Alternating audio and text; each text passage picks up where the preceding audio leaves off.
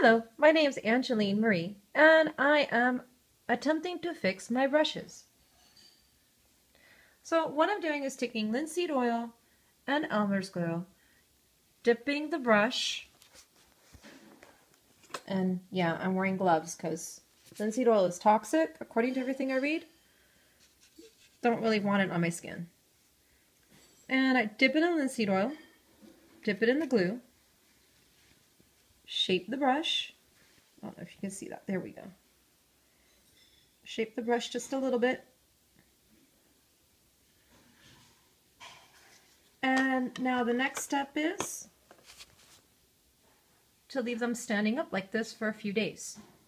Now I'm guessing it's going to be pretty easy to wash the Elmer's glue out of, or the white glue out of the brushes because the oil will not allow it to set properly. This tip is brought to you by Artist Helping Artists, the podcast on Blog Talk Radio. And I was dying to try it because these brushes have about 10 years with me. And as you can see, some of them are pretty bad. Part two of the video will be in a few days and I'll let you know how it worked.